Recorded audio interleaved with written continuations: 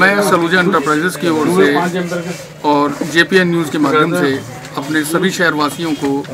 दीपावली की हार्दिक शुभकामनाएं देते हुए उनके उज्जवल भविष्य की कामना करता हूं और ईश्वर से प्रार्थना करता हूं कि ईश्वर हमें इस कोरोना महामारी से बचाए और इससे हमारे देश को और पूरी दुनिया को दूर रखे एक बार फिर से मैं आप सब लोगों को पूरे शहरवासियों को पूरे देशवासियों को दीपावली की शुभकामनाएँ देता हूँ और अपने समस्त सम्मानित ग्राहकों का आदर सम्मान करते हुए उनके लिए भी शुभकामनाएँ देता हूँ